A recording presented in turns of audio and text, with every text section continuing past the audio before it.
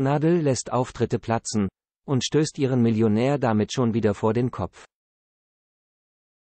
Angstattacken, Weinkrämpfe, die Aussicht auf einer Partybühne am Ballermann zu stehen, bringt Nadja Abdel Farag an ihre Grenzen.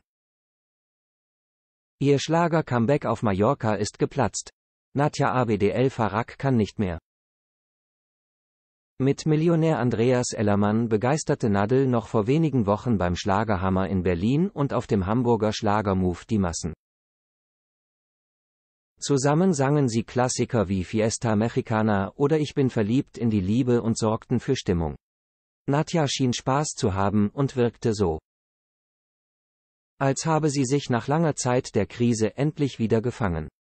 Nun wollte Gönner Ellermann den nächsten Schritt mit ihr wagen. Auftritte auf Mallorca, unter anderem am Ballermann und in Krümelsstadel in Pagera, waren bereits gebucht. Doch in letzter Sekunde sagte Nadel ab. Kurz vorm Abflug auf die Sonneninsel erlitt sie einen Zusammenbruch. Der Gedanke, wieder vor angetrunkenen Touristen auf der Bühne zu stehen. Weckte schlimme Erinnerungen. Ich habe das ja fast vier Jahre mitgemacht auf Mallorca. Ich war von Anfang an nicht begeistert von der Idee, sagt sie.